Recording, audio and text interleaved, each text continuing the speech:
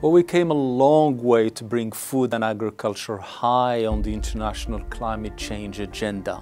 FAO has been part of this journey for a while and we reach this level now where the whole world is paying attention to the importance of food and agriculture in tackling the climate crisis and the biodiversity loss crisis. So what we want to see is agri-food systems being an important part of the solution to these crises.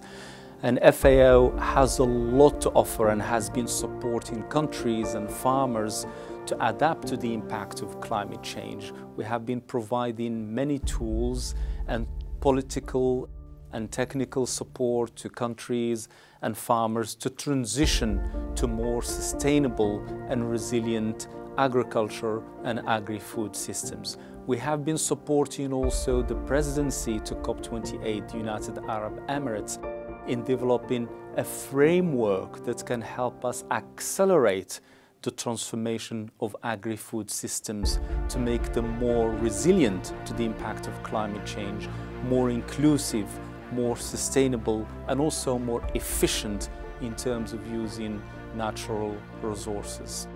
And we're very pleased that the presidency has been leading the development of this framework.